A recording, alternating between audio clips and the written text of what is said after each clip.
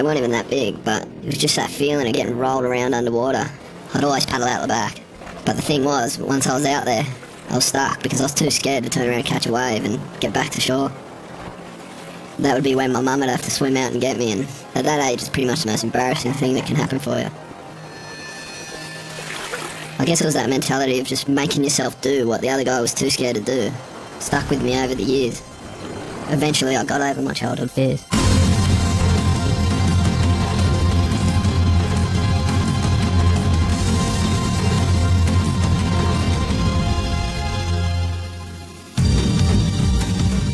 Felt pins and needles coming down my back. I was like, oh god, what have I done? The thought of losing him to go to jail, I couldn't cope with it. I, I wasn't sure he could cope with it. The whole corner of my face was just hanging off. I thought he was going to break his arm for sure because it didn't look like Rich was going to tap and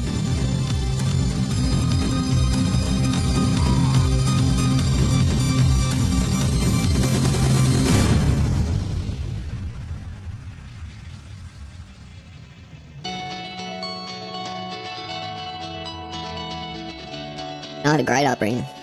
My whole family surfed. My dad still calls me Nev after the first surfboard he bought me. I was only young when my parents split. And when they did split, I moved down the beach with my mum. And from that point on, I just spent every day in the surf. And that's when I met Richie. He just happened to be going through the exact same thing with his parents.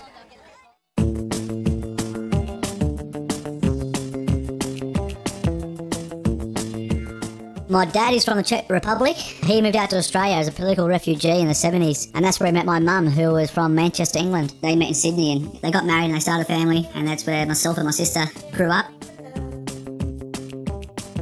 At a young age, when I was 10, my parents split. My dad, he was a brewer by trade, so he obviously loved to drink, but you know, often when he did and he get an argument with my mum, as a kid growing up, seeing your parents argue, when you know they've had too much to drink, it was, uh, it's pretty upsetting and you know, it kind of sticks with you too. So even though it never got violent or anything like that, it's just the constant arguments and stuff. You know, it was really sort of you know sucked as a kid to watch that. I continued to live with my mum, but my dad moved into an apartment at Maroubra Beach. I guess in some way this kind of eased the pain of my parents splitting because I now had a house at the beach where I could leave my board and I had every excuse now just to spend all my time at the beach with my friends. It's probably like, though we didn't realise it when we were that young, but, you know, we had that sort of similar situation going on that probably brought us a bit closer together. I think there was a surf contest down the beach, also a skate contest, and uh, the surf shop put on a, a, a pie contest. Australian pie is just like boiling hot, and to try and eat it fast is just ridiculous. He's always putting a show on for everyone, regardless of what he was doing. He could have everyone in stitches, and that's what everyone wanted to see, and everyone would egg him on and would just like create this little monster.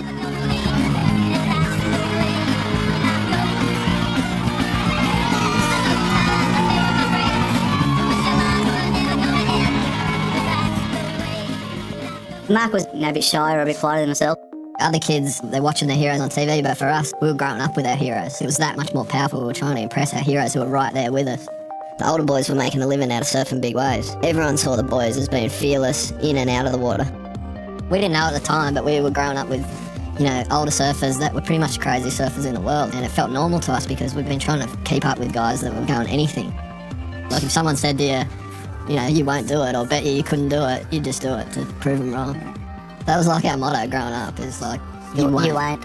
so you do it in the surf, like the biggest wave of the day would come through. that There's no way you could make. You won't. Yeah, and I just look at Rich and I go, you won't go this Rich.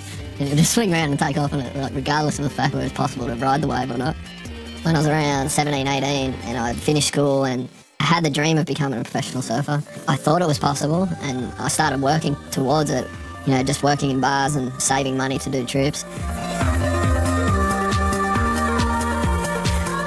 Down the beach at Maroubra, I mean, there's a lot of older guys at carpet layers, so when you're a kid and you just want a day's work, it wasn't hard to pick up a day's work playing carpet. That's just what happened after high school. I, um, I started to learn how to do the trade and did it for, you know, six or seven years. I was just trying to save my money so we could do trips away and chase those swells that Mark was watching on the maps. I knew straight away that I wasn't going to be the next Kelly Slater and win world titles, but I figured out that by being able to forecast where the biggest waves were going to be around the country, I could be the one in the right spot at the right time and possibly make a career out of surfing that way. And that's when I came across this wave in Tasmania. I'd never seen anything like it in my life, and at that point in time, no one in the whole surf industry had seen a wave like that before.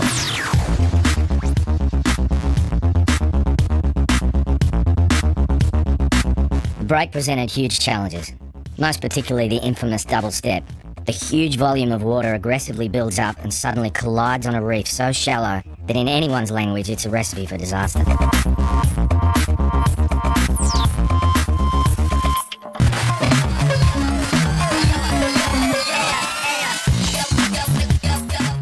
You know, at the time we surfed some of the biggest barrels ever surfed. It gave us international exposure. Mean, it was after that happened that I really believed that I could make a career out of this. I wanted to make sure Richie had a shot at it as well instead of, you know, having to lay carpet five days a week.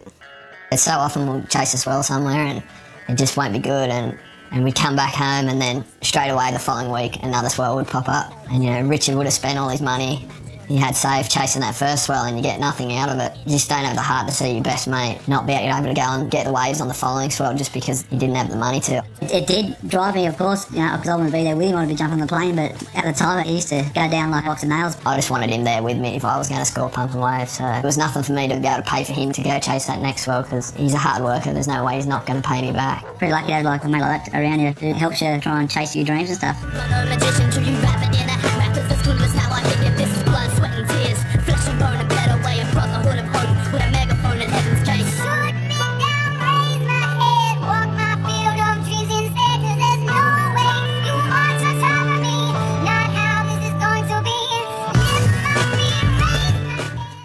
Result of Mark's help and their mutual dedication, Richie started to get some of the respect he was looking for. We surfed as hard as we could and we also partied probably harder and the difference between me and Rich is I kept my clothes on and he didn't. It goes back to the old, you won't get nude, because as soon as I hear that, I'll be like, yeah, well, watch this. like, I was not the only one getting nude. There were plenty of occasions where you were the only one getting nude. Yeah, yeah. Special occasions. I can remember the time Rich at a music festival decided to climb 100 foot light tower in the nude in front of about 30,000 people. the whole crowd turned around and watched him and he just put on a show for everyone. There was just security guards and police everywhere waiting at the bottom for him, but he somehow managed to evade all the cops and the security guards and vanish off into the crowd. At the height of his partying days, Richie met a beautiful young girl called Lucy. The first time I met Rich, I was at a friend's party at her house, and I pretty much didn't know most people there. Kind of knew most of the people at the party, and I saw Lucy, I was like, oh, who's that? This little guy with this the big head of curls just came up and started chatting away. And I just remember sort of making my way over and she was wearing this little top that said ballerina babe. First thing I said was, hey ballerina babe. That's all I could think. I was just ready while I was sitting on the top. And what I loved about him, when the first time that I met him, was just he was so charismatic and he was really funny. I took her out to the movies and stuff and asked her out, you know, at a bar and just said, I, I want, I want to go out with you, and he couldn't get it out, but you know, I want to get out with him. No, no silly business. I was like, yes, and he was like, oh, and we both kissed, and it was a pretty, it was a pretty cute, cute time. Looking back on it, it was really, really lovely. Romeo said, Juliet, could you take me away from you? One of Lucy's neighbours had told her mum that Richie was actually hanging out with a bad group of guys, and she made it really clear that she didn't want anything going on between Rich and Lucy, particularly because Lucy was only 16 at the time. I think they always had the idea that she was going to meet a nice little Italian Catholic boy. But, um, you know, obviously she didn't and she, and she chose me. We were definitely egging him on, but Rich just couldn't help being the life of the party. We could all tell it was really starting to embarrass Lucy. At the same time, Richie's recognition for surfing and his love for Lucy had another rival. The martial art of Brazilian Jiu Jitsu had come to Australia, and Richie quickly became addicted. He surprised himself by winning tournaments from the start. The next logical challenge was mixed martial arts.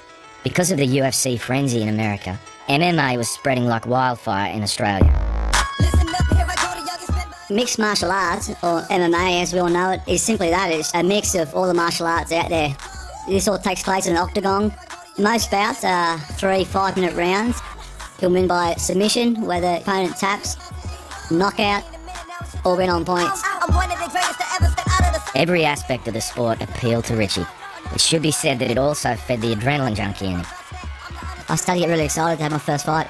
I was fighting a local guy. He'd been unbeaten. I didn't really know much about it. All I knew was my limited experience in boxing in the, in the backyard and the jiu-jitsu I'd been doing. I was nervous but excited and, and like, you know, really eager at the same time. And the feeling of the whole day, the whole walking in the cage and that whole buzz is, is, is pretty amazing. And I wasn't sure how I was going to react. My first fight, I don't know if when the bell went, if I'd freeze or get really nervous and not do anything.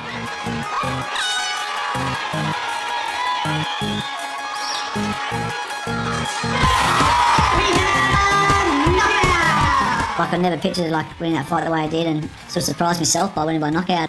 Yeah, that feeling was definitely addictive and I just wanted to stick at it and, and do more of it. I was pretty keen to get back in there and have another one and that one had me down in Sydney. It's not that hard. He ain't letting go of that. He's got to win. And I won that one as well, but I won that one with submission and pretty chuffed with myself. Although Richie had found a new sporting high, the Maroubra surf culture that had created Mark and Richie's dreams now started to destroy them. That aggressive, never back down mentality that we'd grown up around was actually giving us the careers we'd dreamed of as kids. But we thought that to get the respect from the older guys, we had to be like that out of the water as well. So instead of trying to outsurf our mates, we wanted to outdrink, outparty, and outfight them. And when you mix that aggressive mentality with alcohol, partying, and fighting, it's not hard to guess what comes next.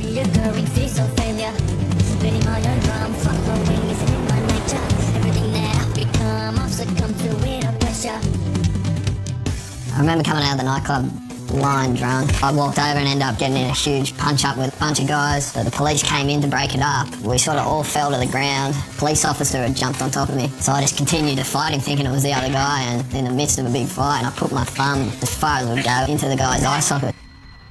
I'd been charged with assault, occasioning actually bodily harm on a uniformed police officer. I woke up that next morning and the first thing that I did was head straight to the police station and I found the officer that I had assaulted the night before, and and I, I apologised to him.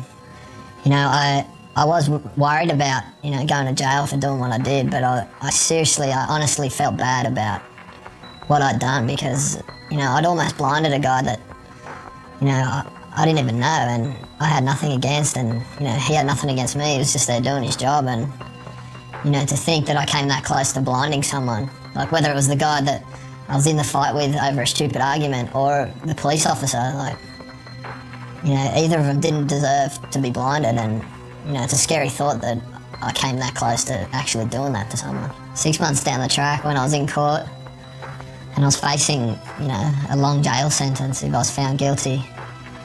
That moment was the scariest thing I've ever been through.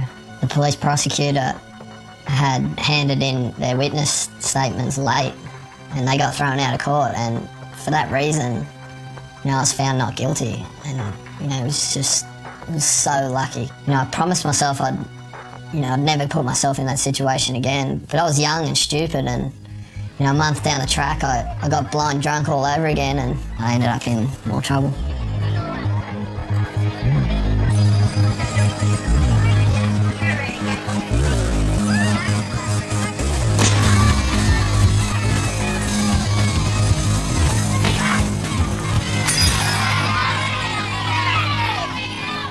Whole corner of my face was just like hanging off, like I had my head down and it was just hanging out. And when I went like this, I put my hand like on the inside of it. It just made me feel sick. They put me in an ambulance and they took me up to the hospital.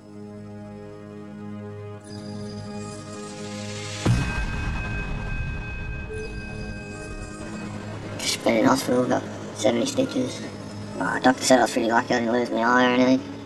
Yeah, they had to get like plastic surgery fix up a few arteries that have been cut and spraying blood. But um, it's not too bad, you know. Yeah, fucking be surfing again in a couple of weeks. Just having a fucking rough head for the rest of my life.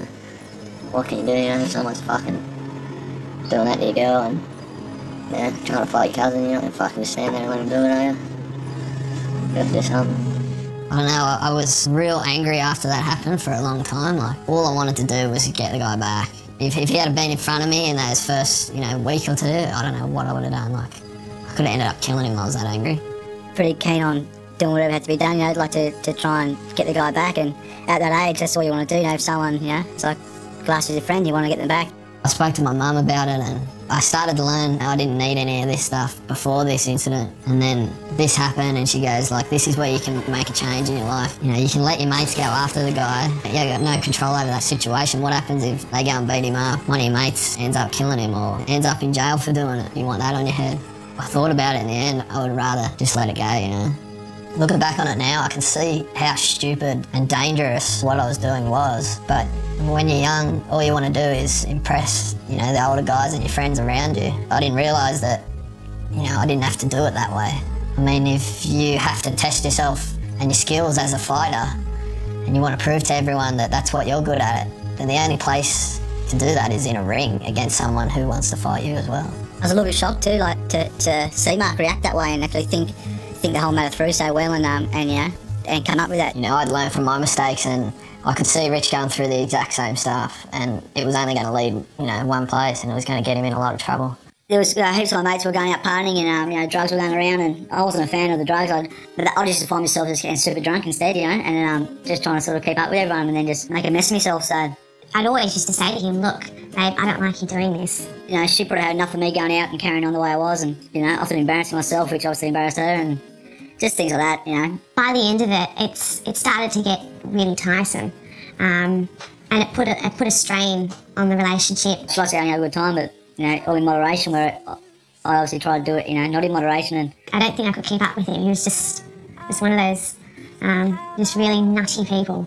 I got there, none to blame himself really, carrying on.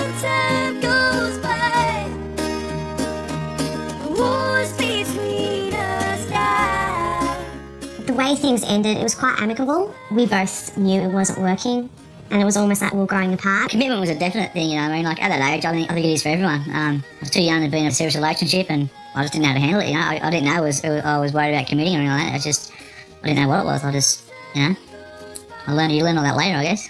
I was definitely worried that without Lucy, Richard go way more off the rails than what he was. To get even wilder can end up dangerous.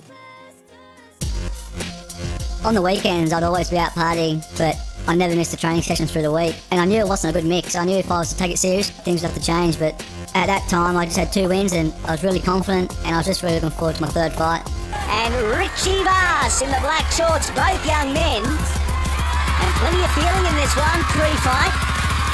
McLeod seems to strike up, but he's been struck and stopped. It is over. He wins in a record 12 seconds, and people start to take notice.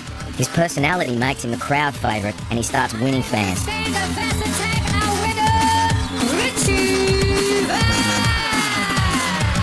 A few weeks later, he goes back to Queensland for a rematch with his first opponent, who had gone on to win several fights undefeated.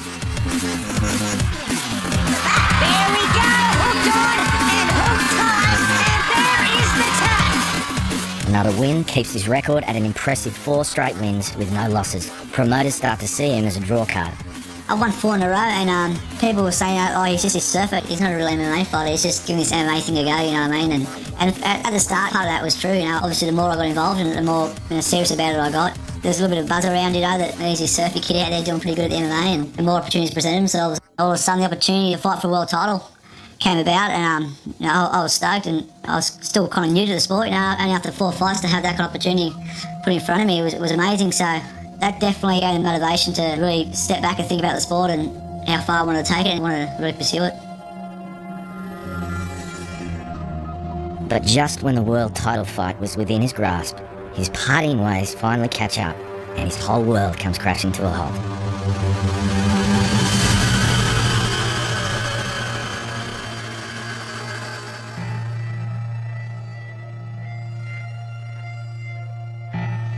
Eighth of January 2008. Richie's mother was greeted with four detectives at her front door. Richie was wanted for an incident that had occurred a few months earlier in Queensland. It was the day of professional surfer Mick Fanning's first world title celebration on the Gold Coast. It had been a terrific win, and Rich was proud for his friend, as were thousands of his other fans and fellow surfers. That night we all followed onto a pub and the night uh, led on and everyone was pretty much in, in good spirits and, you know, we were getting pretty drunk and ended up just being um, your typical bar argument. The argument started inside the pub and it, moved outside. I went outside the pub by myself and there's a bunch of other guys who I was arguing with and that's where the fight started and I got pretty dusted up at the start of the fight and Before long, my friends who were there with me came out to help me out and it turned into a bit of a brawl and I ended up just getting back to my feet and ended up punching a guy who was there in, in amongst the brawl.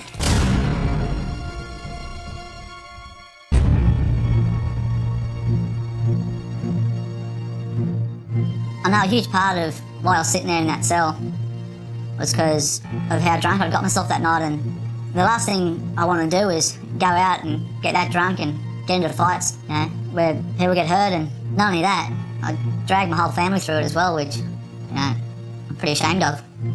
It took that situation for me to realise which way I was heading. If I get the opportunity, I just want to show my family, my friends, and just everyone just how sorry I am about all this, and it's going to be a long, nervous wait until it's all over. Arriving from Sydney, handcuffed and escorted by police, Bravo Richard Vaculik on his way to a Gold Coast court. Is there anything you'd like to say to the victim? I remember seeing Rich on the news in handcuffs and it just freaked me out. Your heart just sinks. Like I wanted to know exactly what had happened, you know, what kind of trouble was he in, if he was going to be alright. You know, I was trying to ring him, but obviously didn't have his phone on and I knew it was going to happen. It was only a matter of time the way it was carrying on. You know, you feel bad that maybe we could have done something more to stop it from happening and then, you know, it was too late now. He was, you know, he was in that trouble. I was actually in bed watching TV one afternoon and I couldn't believe that what I saw. My first reaction was like, oh my gosh, what have you done? She, she knew my mum would be pretty upset, so Lucy gave my mum a call and just to see how things were and just to see how I was. Richie turned up for his hearing and was granted bail. But he had to remain living with his mother, hand in his passport, and report to the local police station once a week. Until the court case was over, he even had to get special permission from the police if he wanted to go on any surf trips outside of Sydney. In the middle of Rich's court case, he was just so down.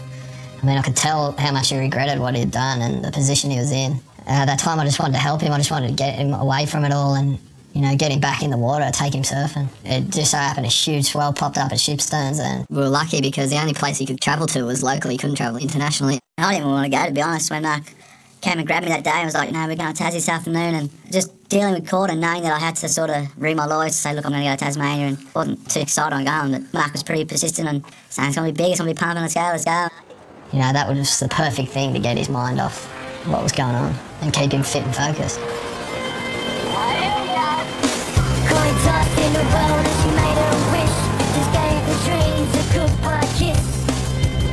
She made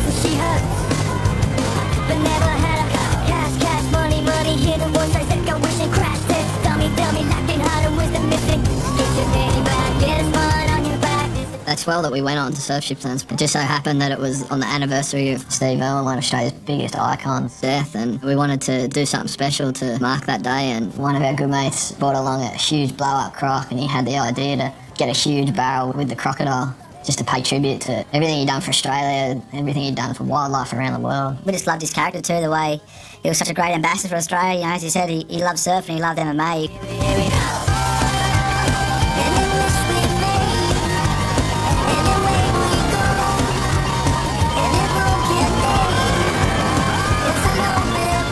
So unexpected and sad to see him go, so I'm sure he would have been looking down and having a laugh at us, you know, going, look at these idiots.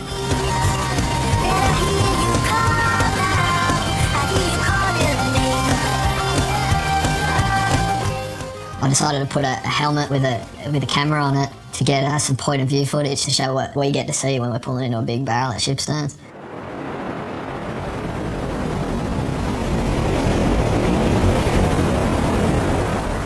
This got absolutely smashed. I don't remember anything about the wave, but going back and looking at the footage, the wave was like a, a second wave of the set, and it was all just whitewash and bumpy. Even though it wasn't a big wave on the day, I think it would have been pretty shallow at the time. I rolled up in the lip, and the lips pushed me into the reef at 100 miles an hour, and that's what's knocked me unconscious and busted my helmet. The first thing I remember, and I can still, you know, see this picture pretty vividly, was regaining consciousness underwater and I had no idea where I was, but everything was so silent. Looking up, and all I could see was the surface of the water and the sun coming through all the turbulence and the whitewash. I was sitting there for like 10 or 20 seconds. It was like I was floating in the middle of nowhere. The buoyancy belt I had on was just slowly bringing me to the surface. I didn't even know what was happening. I was just like floating towards the surface of the water. As soon as I, I broke the surface of the water, it was like the pain from the injury just hit right at that point. I just had the sharpest pain in my neck, the back of my head, and I felt pins and needles coming down my arms and down my back. I was like, oh god, what have I done? Luckily enough, I had that helmet on because without it, I'm pretty sure I would have died. I was really scared, terrifying seeing your mate down there, unable to move, and there we were in the middle of nowhere. And I was just thinking I could get home and get out of court, and if things weren't to go my way, I could be behind bars. And with Mark looking the way he was, you know, there's every chance that Mark wasn't going to be able to surf again as well. So things couldn't have got any worse for us at that point, both myself and Mark. It was such a great day to just pretty much the last point I've ever been at. It was just non-stop playing over in my head that I'd broken my neck. I was never going to be able to surf again. My career's over. What am I going to do if I can't surf? Saying to myself, that's it. I'm never surfing big waves again.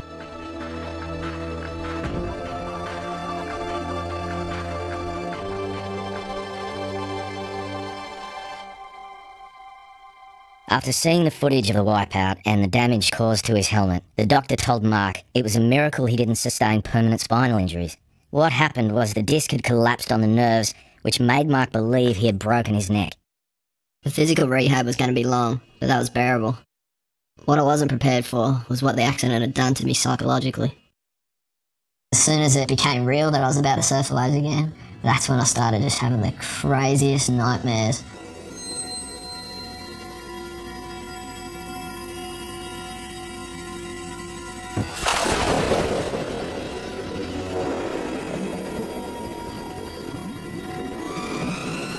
Nightmares about drowning, about breaking my neck, about it happening all over again. Ended up in a wheelchair leading up to that first swell.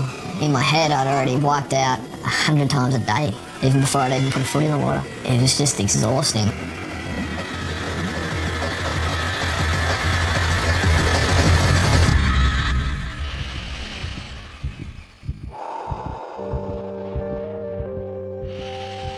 I'd gotten over all those fears of surfing big waves when I was a, young kid, and then it was like that injury just brought it all back, and it was like it, it brought it into a new light, like just how dangerous what I was doing was.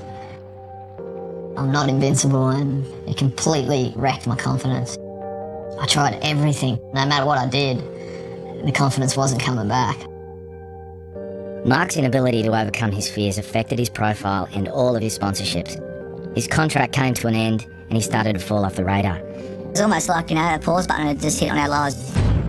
To see him now question himself a little bit and confidence or motivation drop, it definitely just rubbed off on me as well. Before he went up for that final day of court, I just wished him all the best and just said it's going to be over soon. You can put all this behind you after this day. So, and then when he went up there, I was just you're that worried about which way it's going to swing, and you just want to know. You just want to know that it's all going to be good, and we can go back to chasing what we were chasing.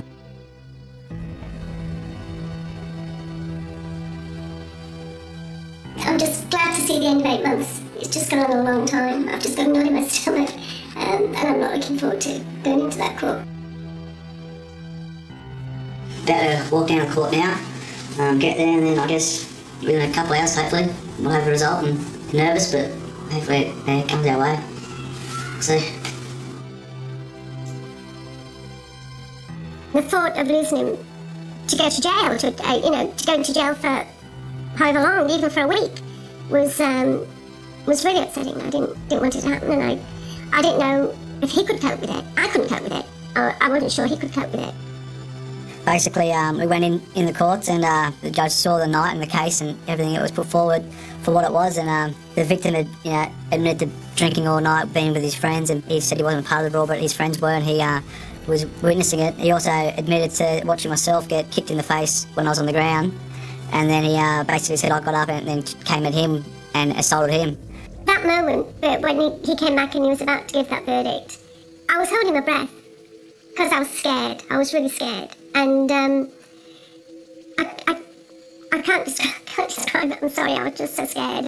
we were all out there on the drink and you know a ball erupted and uh, we, we all carried on like a bunch of idiots and uh, he agreed that you know I, I was you know in the wrong for hitting the guy but under the circumstances he thought it was fair to record no conviction which um you know end of the day that means there was nothing recorded against my name it wouldn't stop me from travelling overseas and uh, pursuing my surfing or fighting career so It was like it was. I just wanted to jump up in the air and shout. my mum more so than anybody has been torn up over all this so So to see her smile and realise it's all finished and it's over is just you know, the best feeling. Just really looking forward to putting it all behind us and just getting on with life. Rich came back from that last day in court and there was just like a spark in his eye, like he was real excited to go out and surf. And at the time, I was you know, still terrified of, of surfing anything real big, but his excitement of wanting to chase the swells just rubbed off on me.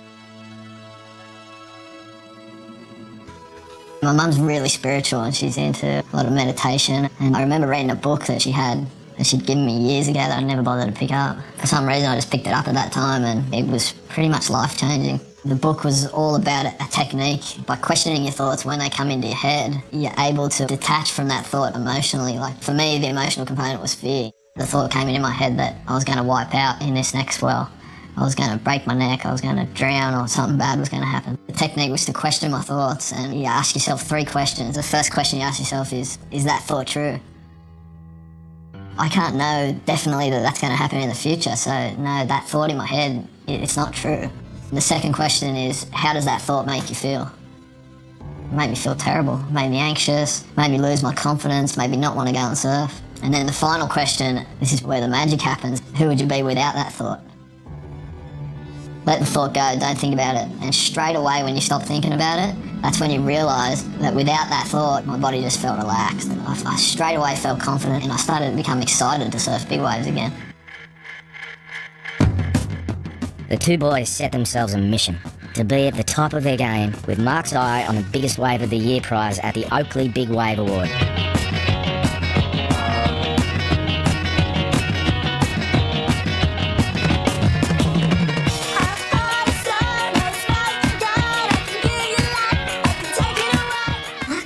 Crazy. Oh, I consider him, yeah, definitely top five hellman. Big, gnarly, whatever shit that people look at. I've looked at a lot of his photos and just went, I don't want nothing to do with it. It's crazy. Mark Matthews has ridden the wave of his life at the Monster Energy Pro in Hawaii. The 24-year-old Sydney sider threading the thrilling 5-metre tubes of the Banzai pipeline to score himself a perfect 10 points. His incredible tube already being described as one of the all-time great North Shore rides. You know, everything I see from him is just charging something big and mutant. And, um, you know, it's a pretty specialized field that does that. You know, there's a lot of guys who will just go and charge big waves, but then there's guys who can surf good too, and surf big waves and small waves. And I think Mark's pretty high on that totem pole. Richie, this crazy little brute. I don't think he has no in his vocabulary, you know. He just he just goes for it. Some of the things that I've seen him go, and I'll be pulling up marlins for sure on some of those waves. He, he goes for it, man. Fuck, he's crazy. He has balls, big balls, and you know he might not be the best surfer in the world, but he sure will fucking he'll go. He'll go on anything. We were like two little kids at Christmas time. We were chasing every swell that popped up. You know, we were having more fun than we'd ever had. And in between swells, we were just doing all kinds of crazy training to help prepare ourselves for every swell that was going to pop up that year. Just trying to push each other, you know. I just wanted to get stronger and, and fitter and more confident.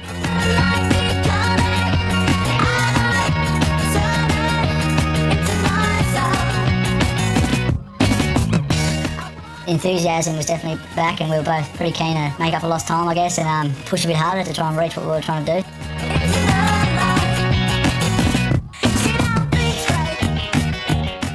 Couldn't get another sponsor straight away, and I just knew I had to maintain that level of exposure. I got all my savings together, and I spent that year chasing waves as hard as I could. I had to keep believing that by the end of the year, I was going to find another sponsor.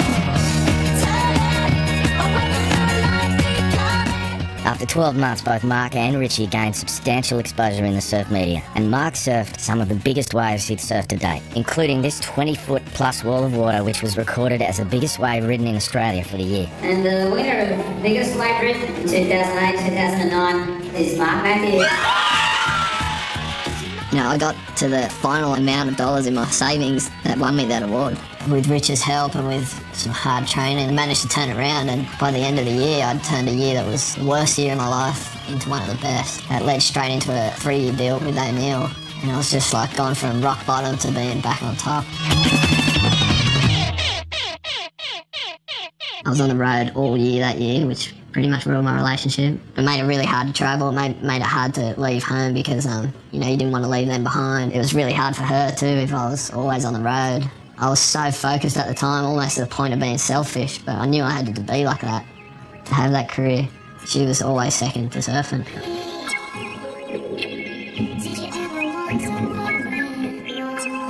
I was pretty heartbroken when I, I broke up with my girlfriend. It was it's pretty hard to take at the time. When we were kids, he didn't really sort of talk too much about his parents splitting. Um, he keeps all that kind of personal stuff pretty close to his chest, and uh, it was the same when he broke up with his girlfriend. He's not kind of guy to cheer off about his personal problems. He just gets on with them and deals with them in his own way. That's quite a long relationship that come to an end, so I'm sure he was affected by it. You know, I know that I was, and me and Lucy broke up after a few years. You know, as sad as I was when we broke up, I just tried to use that and turn it into a positive in the fact that now I had absolutely nothing to be at home for. None of my family live here in Sydney where I live. I didn't have family to come back here to see, so it's kind of like I'd rather be on the road.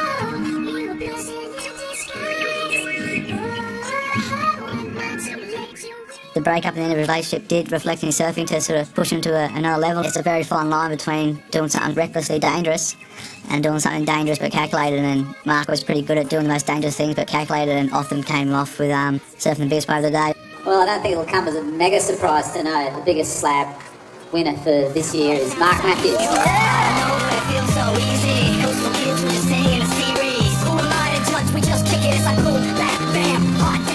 I was just so happy to see Mark win that award and it just it just proved to everyone his confidence was back. And on top of that, I was given the opportunity to fight for the CFC World Bantamweight title in a few months. And uh, with the title on the line, I just totally focused on putting all my energy in the gym and getting ready for that title fight. Yeah. From Manly, Maroubra Margaret River, if you ain't been down, you only get half the picture. Populated skate. Mark was well and truly starting to cement his name in the world of big wave surfing, but he felt he needed to push the envelope even further. So he decides to spend the whole winter swell season in Hawaii. Richie accompanies Mark to use the trip to further his preparations for his upcoming fight, with the opportunity to train with some world-class fighters. You can see off the rock space cosplays, a community of unity and handshakes. Oh, is it up there? Looks pretty gnarly. Mark Matthews called me the other morning. Hey, Clark, I'm fucking at the airport. I'm coming in. All right. I like Mark. I like surfing with him. He wants it. If it's big, you gotta want it. Because you don't want it, you don't belong up there.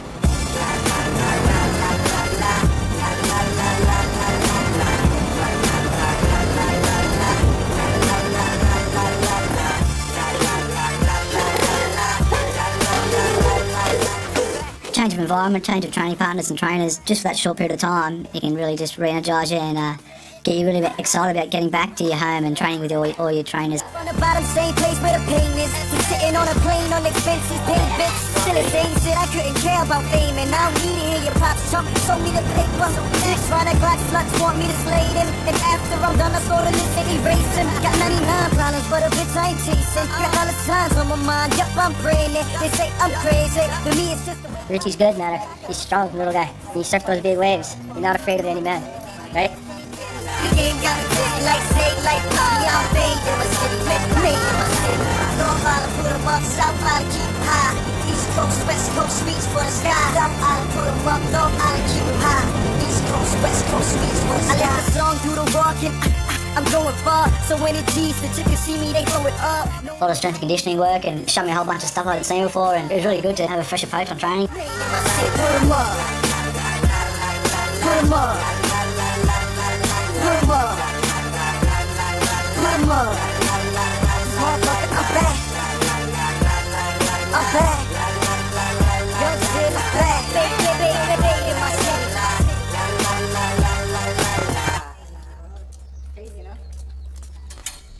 When Rich heard that he was going to be training with BJ Penn, you could just see how excited it made him. And I guess it would be the exact same thing for me to be able to go surfing with Kelly Slater. Was, that's what it was like for him to train with BJ.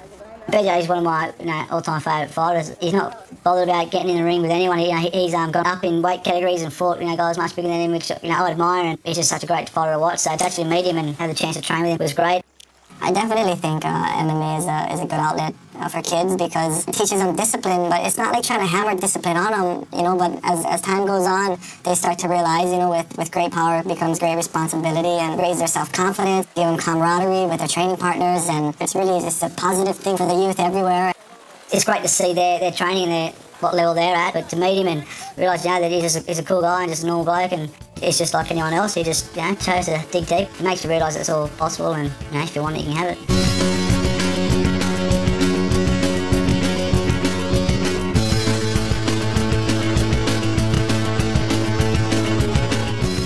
So one minute, one minute, and then we'll just do it probably about six minutes. The guy might be real tired after three minutes, but I'll keep switching them. Life is about second chances. That's the mark of a man.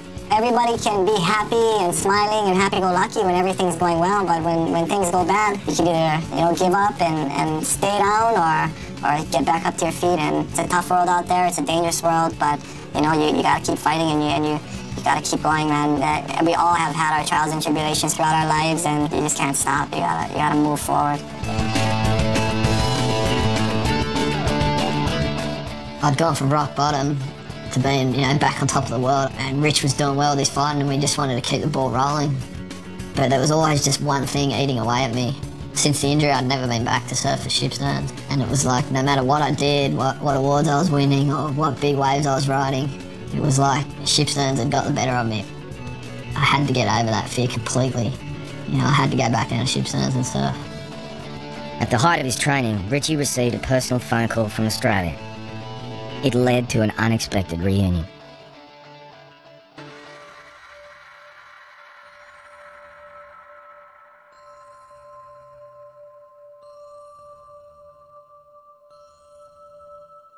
Mainly it's been broken up for four or five years and we were still friends like when we bumped into each other, we still chat and the odd few occasions that we would give each other a call and talk. So, you know, we, we knew we could always call on each other for whatever reasons. Leading up to Richie's title fight, we started to spend a lot of time together. Um, my mum got diagnosed with cancer, and um, that killed me to hear that. But it was my fear that, and it's still my fear to this day, that I might lose her, and that's the hardest thing for me to, for me to even comprehend. And I didn't have the coping mechanism or strategies to deal with that situation. But having Rich as a friend, um, he helped me through that. He comforted me. He supported me. No one else had the time or had the want like he did. And I have the utmost respect and thank for him because he really saved me in such an awful time in my life. It surprised me he was there in my time of need and, and he just stepped up to the mark. He's just the most amazing person. I just try to be as supportive as I could, and you know, as I said, I always thought of Lucy through that time we were together, and know, I consider her a really good friend, and I know she's a, a really good person, and, and she'll do the same for me, and, and, the same for any of her friends. So it's just really easy to be there for her and, and help her deal with it because it's not an easy thing to deal with. Obviously, when a family member gets ill with cancer, so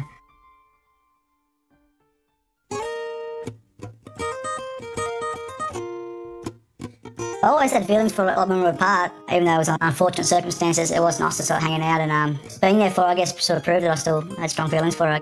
That sort of led into us spending more time together and really enjoying our time together. When we first started going out, I was too young to commit to a proper relationship, and I always thought this kind of relationship would be suited if we were both five or, or ten years older, you know. So um, don't know. Now that five years has been, we're hanging back out, so it's seeming a lot more possible. Save me now.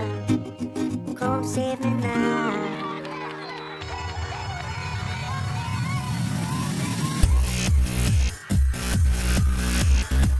No, I got there that night. It was pretty packed, and I was lucky enough to have the title fight in my backyard, you know, at home. And I had a lot of friends and family there supporting me, and yeah, I was just so excited to get in there that night. I've been wanting to see Rich fight in person. I haven't seen him fight before. I've seen some footage of him fight. Everything's on the line. You've got all your friends and family in the crowd. The fight's in your backyard, and you know, your heroes are in the crowd, kind of watch you fight. It's a massive whirlwind of emotions when you're in your backstage. Ladies and gentlemen, the night continues on for the Bantamweight CFC World Title.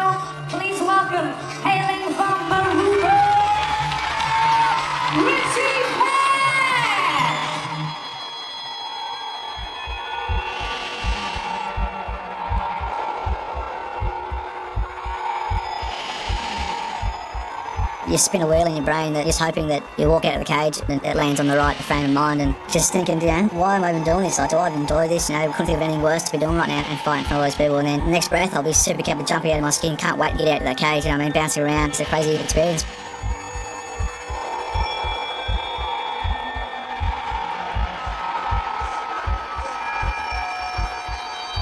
Richard only had a handful of fights before that world title match.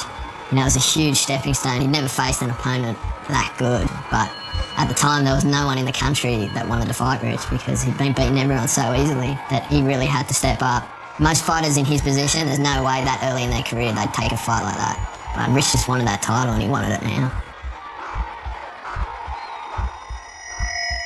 As this is a title fight, instead of the usual three five minute rounds, This one is scheduled for five five minute rounds. It's a tall order to go the distance and requires superhuman endurance.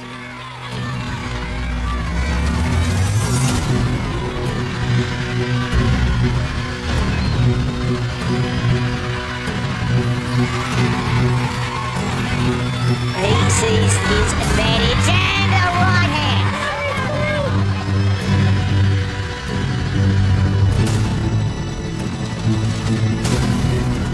The first round started off well. I stuck to the game plan, and I felt know, my striking was working well, and I was able to keep him on his feet.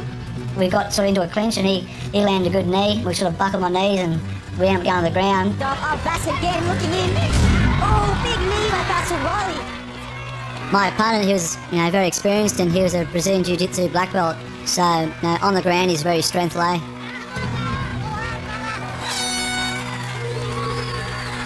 It was a tough round, but there were four more to go. Bass O'Reilly moving, looking for the armbar. Oh, here he got it. Has he got it? Holding on for dear life, Richie Bass looking to extend, and he has. And he has. How soon?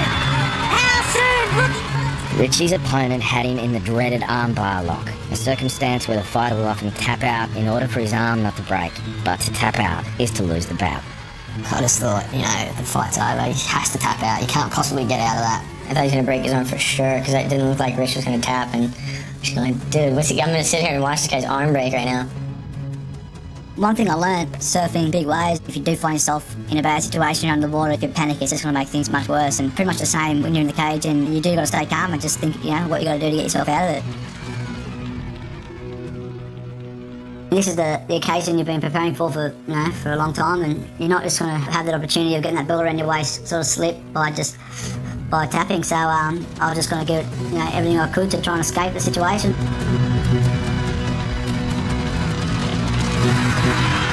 Richie's determination not to give up and tap out is as bewildering as it was miraculous. You are Elastic Man! Gosh, I don't know if the guy knew he was gonna break the arm or what. He just got a little slack for a second or whatever. But Rich just like bent out of the thing somehow, and it's pretty crazy. He's gonna last no matter what happens. I was grateful to get out of the armbar, obviously, but I was kind of dirty for even letting myself get in that situation. And I have to, you know, make it hard for myself to get out of it and, you know, and continue on the fight. He's in the third and starts with a great long right hand.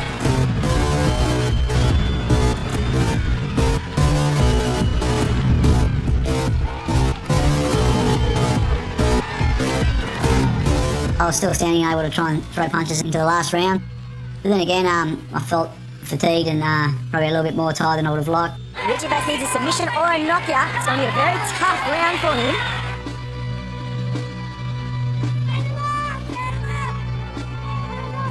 Richie Bass, they have gone the distance. After getting almost knocked out in the first round and then withstanding an armbar and five five minute rounds, it's not in his nature to give up.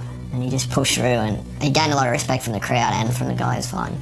He's got a character where he just, it's not an option to fail. He wants to succeed. He needs to succeed. Ladies and gentlemen, after five rounds of action, we went to the technical scorecards. We have a decision, and new bantamweight CFC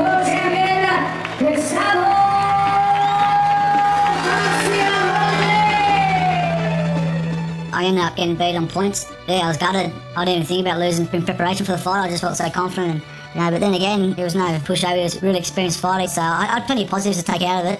He came up to all of us and, and he was like apologising for letting us down. He trained as hard as he could and he fought as hard as he could and he, he didn't leave anything behind. And, you know, you're not letting anyone down when you give it your all like that. I was, you know, I was pretty emotional not winning the fight, but having Lucy there and um, realising not all was lost, and it's still pretty lucky anyway. So I was still pretty happy with my life. This time we'll start things over. He came up to me and told me he loved me. I think he wanted to show his his love and also his appreciation for, for my support that I'd given to him leading up to that point. Me and Lucy were pretty serious before the title fight. Hadn't really made it official or anything like that. We knew where we were at. I came about to say, you know, yeah, um, let's do this, let's, let's go out and um, let's give it a go. And yeah, it so happened that he, he posted his relationship status on Facebook the next day. The next day I was put up there officially, you know, that I'm in a relationship with her, so it'll be a great opportunity to put it up and prove to her that, yeah, I wanted to give another proper crack. But that's as official as it gets these days. Like, you can like hide your wedding ring, but you can't really hide your relationship status on Facebook. So shit. Soon after Richie's title fight, a huge swell popped up in Tassie, and straight away, you know, the nerves just started to kick in. It's in your eyes, a color. Having to say to myself, if I can overcome this fear, then nothing's going to scare me. Mark hasn't surfed it since his neck injury, so going back, you know, it was a lot of excitement, but still a little element of unease. Kelly Slater was actually in Australia, and he had been my hero ever since I was a young kid growing up. Last week I talked to Mark a lot, and, and um, I've been wanting to get down to Shipsterns for a while. I was nervous enough, but on top of that, I also had my all-time surfing hero in Kelly Slater. I had Koby Abberton, the guy that made my career possible from a young age. And then I had my best friends in Rich. It felt like the whole world was watching what I was going to do.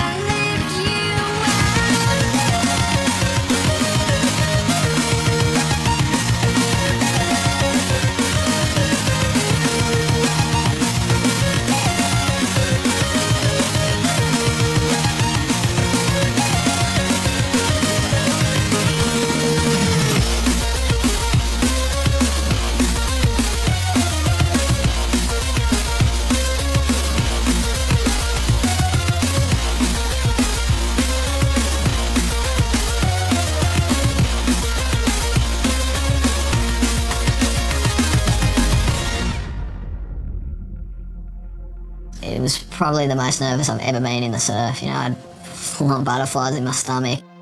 Having Rich there at that moment gave me that little edge of confidence. You know, we'd been pushing each other our whole life to surf bigger and crazier waves, and having him being the one there to tow me in, it was just he had my back. If I was going to wipe out, he was going to be there, and I could see that he had the confidence in me that I was going to be able to do this. If I could bet play any part in getting his confidence back and, and then seeing him surf those waves again, I'd do anything. I just wanted straight away, first wave, no matter what, I wanted a big one. The only thing that was going to get me over the fears was getting a proper huge wave. I guess you got to be careful what you wish for because one of the biggest waves I'd seen popped up, you know, 10 minutes later and um, it was my turn. I was a little bit like, all right, this big one coming, you want the next big one? I just had to go. I had to do it. No matter what the wave was going to do, I was going to.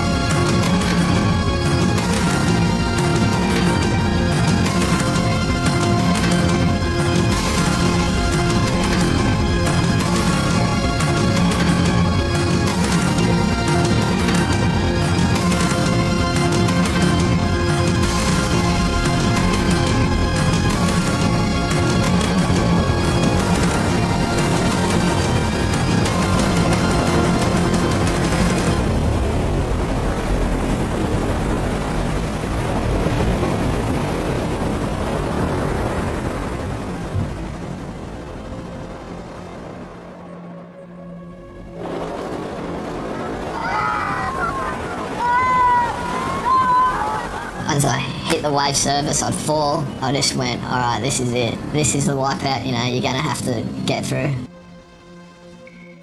I was a little bit worried because of the, you know, the history in, in his previous wipeout down there. Being his first wave of the trip, it was a massive one, and, and those massive ones, they can do all sorts of things down there, so The wave just drew me up into the lip. It feels like you're airborne underwater. And I was just like, it's just that sort of one or two seconds of floating, you know what's about to happen, and then all of a sudden it just goes the craziest loud noise just smashes you into the water, and you know, the turbulence is just trying to rip your limbs off your body. Like my arms were going everywhere, and I was just tucking up, and I was just like, please don't hit the bottom, please don't hit the bottom. I just remember rolling and rolling and rolling and rolling.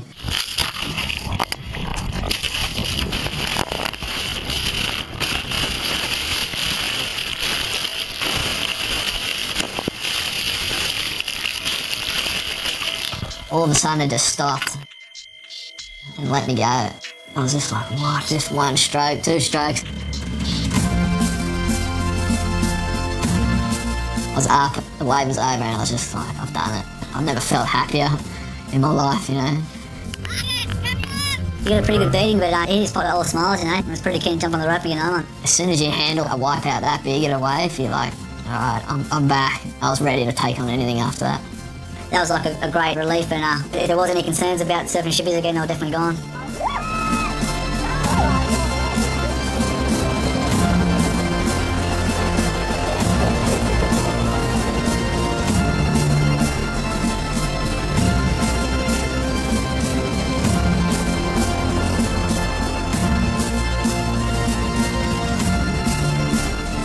Mark was finding that passion and that desire to surf big waves again by going down to Shipsterns and surfing again. And, and that's exactly what I wanted to do in my fighting. I wanted to get back in there and prove to myself and prove to everyone who was there to support me that I, I was better than that last performance. After that loss, I was trying to be positive and remain upbeat, but you know, I still just couldn't get out of the fact that I felt like I blew it. Going away with Kelly shortly after it, going to surf Shipsterns. He's obviously been through so much in his career, ups and downs, and he just shed a new light on it, you know, not to worry. He kind of put it in perspective for me and um, just made me feel better about the situation. You know, I, honestly, I would probably argue that having that loss with Danny was the best thing I ever had in my career. And it's, you know, I think if you look at, at anyone's uh, stories of their lives, any person, you know, it's in real sort of deep despair or a bad loss or, you know, something seemingly terrible happens in your life where you can find what life's about, you know, why you do what you do. You know, for me, it was it was to re-energize what I do and, and find like a new life in it. You know, for Richie, that could be it could be the same. It could be something different. You know, it's really how you take it and what you learn from when you lose. Ten times world champion now and one of the best athletes that you know there ever was. So if he can give you any advice on, on how to deal with loss and how to remain positive, uh, yeah, you're gonna listen. I can understand being devastated. You know, he, he had a perfect record till then, but everybody loses. You know, that's just part of life. It's just really having um, your mind open enough to accept that maybe that's a good thing. Not to be okay with like going out there and losing every time, you know, but to be okay with that you have already lost. Just process it, get through it, learn from it. You don't learn until you, you're shown something. You know, even from a little kid, you can't expect to get up and run when you come out of the womb. You know, somebody's got to help you out. You know, it takes a while. So, know, we're all just in different places, trying to uh, learn more and more. I had dreams of fighting the UFC and, and make it the global stage. So if I didn't win this next fight, my dreams and my goals of fighting on those massive stages, it would seem more distant. It's important to get a, a win and keep those dreams alive, I guess.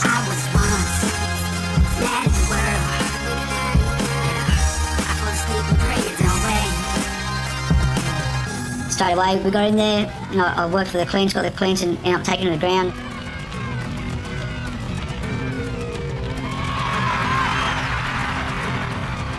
When Rich got his back, you could see that he had him in a good position, he was choking him. I'm just that nervous, I was just going tap, tap, tap, please tap.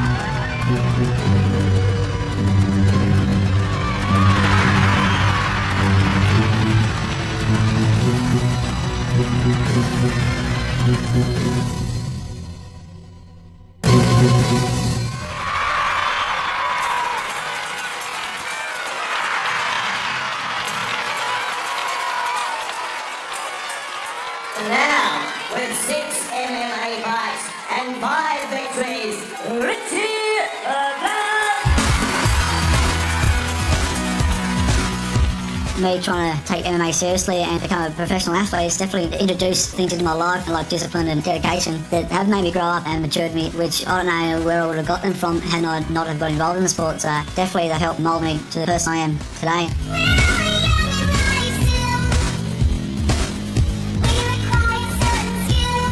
Definitely helped me resurrect my relation with Lucy and just really appreciate it. If it wasn't for my friends around me and Lucy, things would have been different. So I'm pretty happy where I are. He's obviously matured a lot. He's gone through a lot. Those pitfalls that he had in his life has obviously changed him as a person. But the relationship now is different in the sense that it's a relationship based on a big foundation of friendship.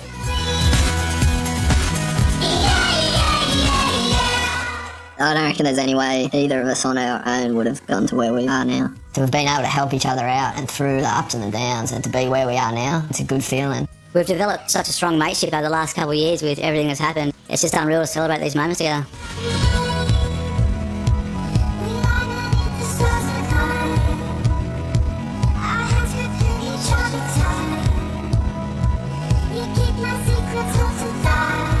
Want to keep chasing the biggest waves around the world and fighting the biggest shows in the world. My dream is to one day be in the UFC and, and be on shows of that caliber. And after years of getting things wrong, I'm finally starting to understand what has to be done to you know to reach that level and become a professional athlete and do the right thing. So uh, I don't have any plans. I'm giving up one for the other. I believe I can really push both as far as I can go. And the goal is to be on the world stage in both sports.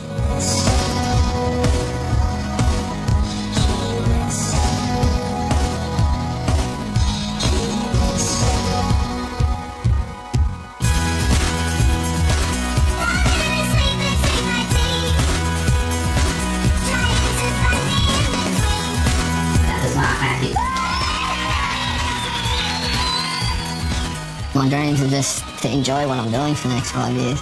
Like as amazing as it is being a professional surfer, it's still easy to get complacent and find everything negative about it. The travel and being away from home. I see parts of Richie and Lucy's relationship that I really do want companionship, always having someone like that there for you to rely on. But for me, just the way I'm travelling and stuff at the moment, I don't know what the future will hold. I know what sort of people I'll meet down the track, but I'm so happy just with the friends and the family that I've got that, you know, at the moment I don't feel like I need to have that other one strong relationship. I'd rather just spend my time with my family my friends and my career. And definitely in the next five, ten years, I'd love to have kids. I can't wait, but I don't think I'll be risking my life the way I do when I have kids. It'll just it'd be selfish.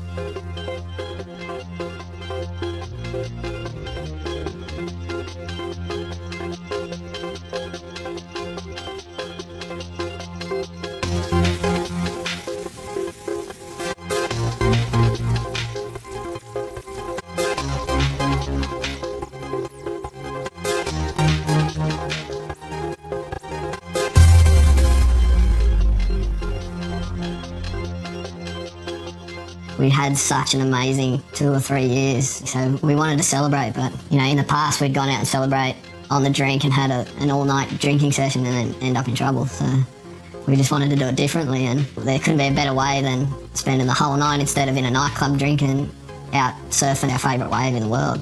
Mark always believed it was possible, you know, surfing hours at night, surfing hours at night. Surfing hours at night.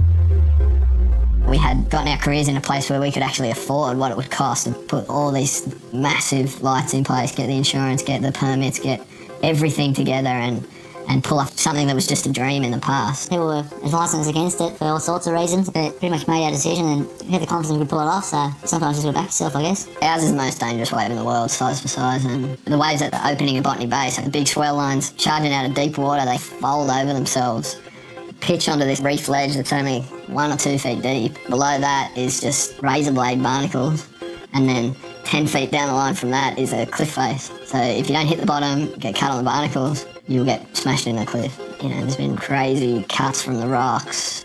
I dislocated my hip out there once, burst eardrums, there's been broken neck. There's so many risks, but the rewards when you make a wave like that make it all worthwhile. I get nervous and scared, you know, paddling out there yeah, in the middle of the day. To be out there, in pitch black, the adrenaline's pumping and the fear factor's there, but it's all there, so you help you switch on and try and do your best. You know, doing all that in the day is hard, and- but you can pull it off, but doing it in the night was just something else. Nobody sleep, nobody get hurt. Nobody sleep, nobody get hurt. Nobody sleep, nobody get hurt. Nobody sleep, nobody get hurt. Crashing in. The madness once begins. On the road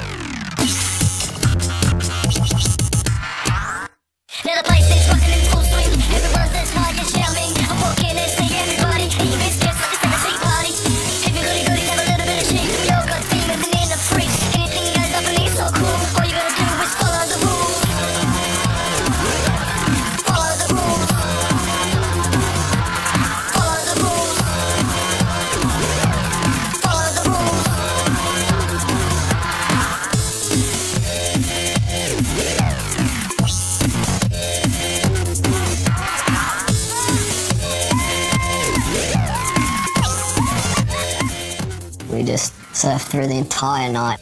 Just unreal to be a part of and definitely something you'll remember forever. It was just surreal to end the surf as the sun was coming up. You know, this way we got to go on a surfing bender. You know, I don't know what's going to happen next. I guess anything's impossible.